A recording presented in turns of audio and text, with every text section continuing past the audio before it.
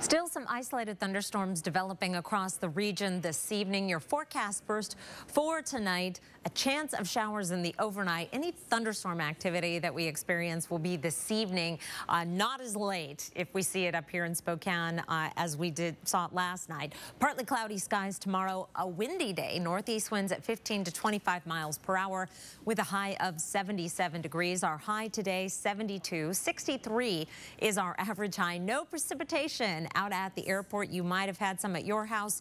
8.09 our sunset time. It's 69 right now in Spokane. I want to bring your attention to our dew point. It's up at 49, starting to creep up there. We have had a fair amount of instability in our atmosphere. Certainly the conditions are prime for thunderstorm development. 73 right now in Coeur d'Alene with the dew point up at 52.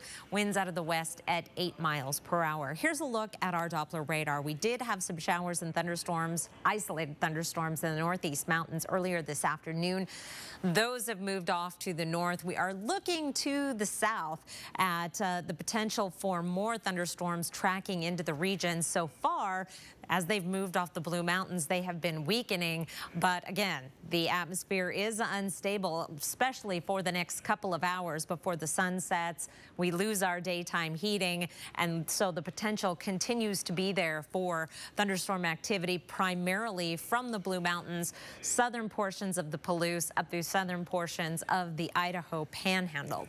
Overnight lows tonight will be down in the 40s and 50s. Tomorrow, our high temperatures in the 70s. We are above average, even some 80s. Moses Lake, Omak, and Colville. 82 tomorrow in Lewiston. Here is your seven-day forecast. Tomorrow, partly cloudy. A dry weekend with a high of 77 on Sunday, maybe a little bit breezy Saturday and Sunday with more showers possible uh, next week. I'm watching those thunderstorms. There still could be some isolated problems south of Spokane, but for the most okay. part, it looks like things may not be as uh, anywhere near like what we saw last night. That was something else. 12:15. I remember exactly. crazy, crazy, big loud. Yeah.